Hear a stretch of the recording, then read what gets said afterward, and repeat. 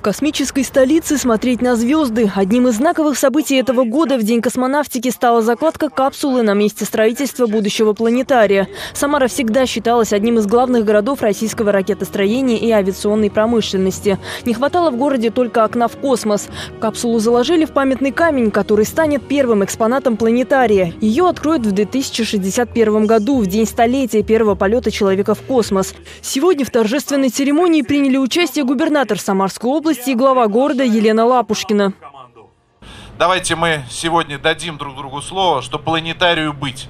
И, конечно же, еще раз вспомним героев-покорителей космоса. Отдадим дань уважения тем людям, которые сегодня работают иногда абсолютно в секретном режиме над э, все новыми и новыми достижениями нашей страны в космосе.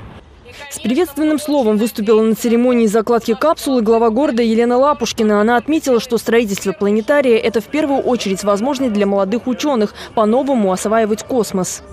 Город не остается в стороне, город совершенно точно будет принимать самое активное участие в его строительстве. Действительно, э, это же не просто развлекательный центр, это центр научно-познавательный, это центр, где будут проводиться научные конференции, симпозиумы и многое-многое другое. И я убеждена, что московский планетарий будет еще у нашего планетария учиться. На особом контроле реализацию проекта держит депутат Государственной Думы Александр Хинштейн. Строительство планетария находится в непосредственной близости от филиала будущей Третьяковки. Это позволит организовать в Октябрьском районе города единое музейное пространство, уверен парламентарий.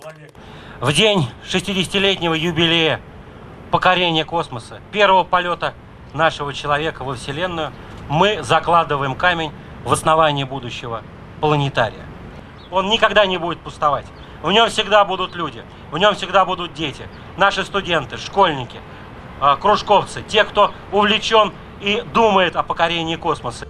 Проект будущего Самарского планетария уже готов и прошел экспертизу. После принятия правительством страны решения о финансировании строительства объекта его включат в федеральную адресную инвестиционную программу. Мария Илчан, Николай Сидоров. События.